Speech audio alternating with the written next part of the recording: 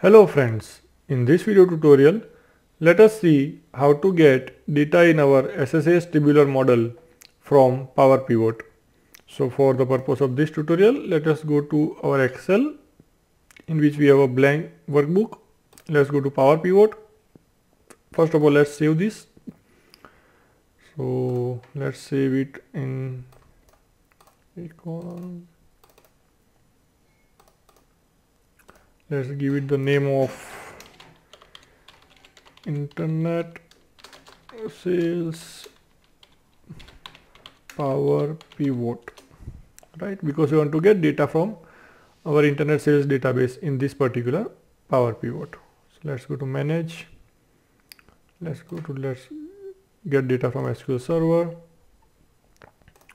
Now let's copy the connection string so name of the server is given. Now let's get data to from our internet sales database. Next next.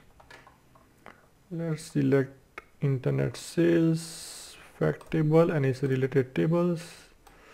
Now I don't want currency. I don't want promotion. Don't want sales territory okay so let other tables remain as it is. Let's say finish. So we can see it is importing four tables into power pivot. So now the import is complete. And we can see the data of all these four tables in our power pivot right? So let's save everything. Correct?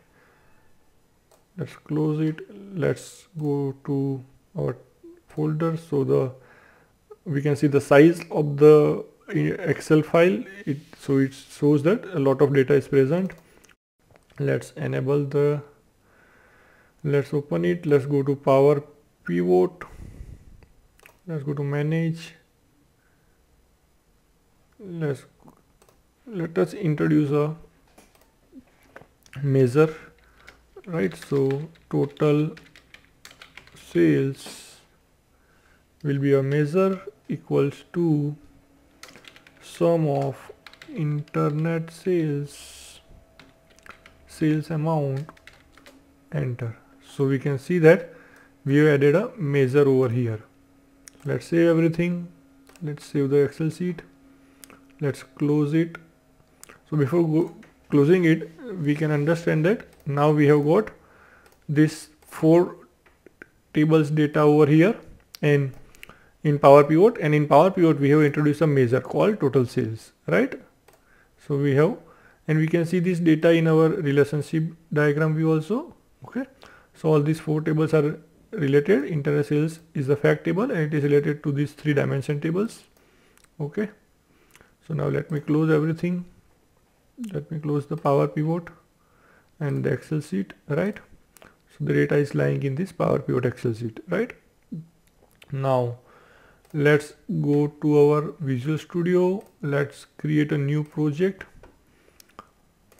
Let's create the project and give it a name of tabular 2 right? And this time let us select this option that is import from power pivot.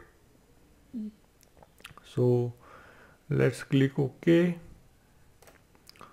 so it will ask us where do we want the workspace server to be? So workspace server will be over here.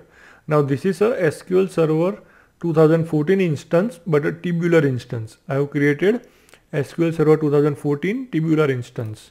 So let us connect to our analysis services 2014 tabular instance. Its name is SSAS 2014T. Okay.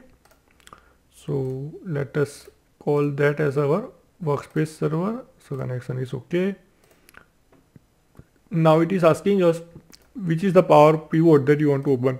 So let us provide it the path of the power pivot file that we have just created. So now we can see that it is it is now creating the tabular project for us. So now the tabular project is created. Model.bim file is now having all the data of the four tables along with the total sales right? So we can save it we can go to the properties we can see the options for the properties right? So let us click ok. Now right now in this instance there is only one database and this is a temporary database for the workspace right?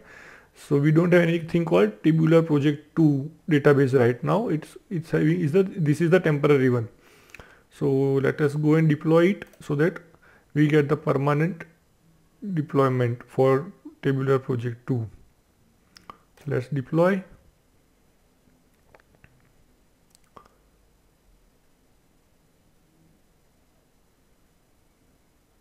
So you can see that the deployment is complete right?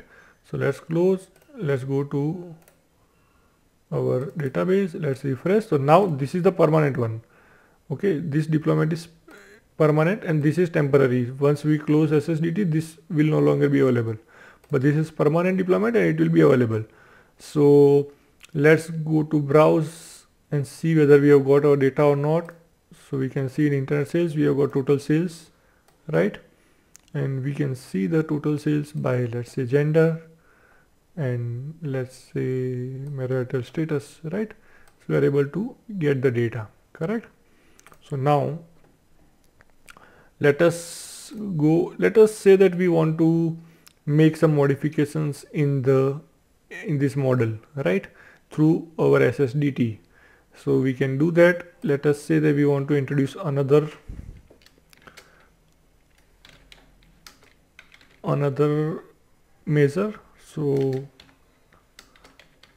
let's say we want to introduce a measure for average for internet sales and in the internet sales we want for sales amount correct? So enter. So this is the average sales amount. Let's save everything. Let's this is now we have added a average sales measure inside our SSDT okay? So if we go in this uh, deploy this solution then our new measure will be available in our this database but uh, if to verify that whether we, everything is coming from SSDT only let us delete this. Okay? So let us delete this and let us recreate this database. Okay? In production environment you will never do this but over here just for verifying whether things are coming from SSDT or not only for that purpose we have deleted the database so, and we will do a redeployment of the database with this new average sales right? So let's deploy it again.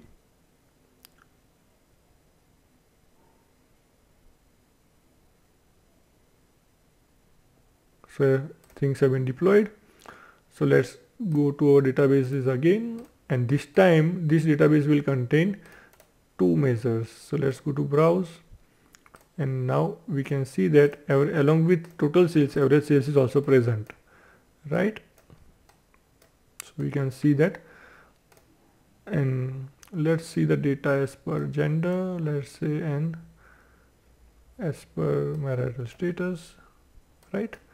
So in this way we can import the data in SSDT from Power Pivot and deploy it on the tabular instance as well as we can make changes in our model inside SSDT and we can introduce changes and we can deploy the changes to the tabular instance right so i hope friends this video tutorial on how to import data from power pivot into ssdt and from there how to deploy it on our SQL Server tabular instance is useful to you.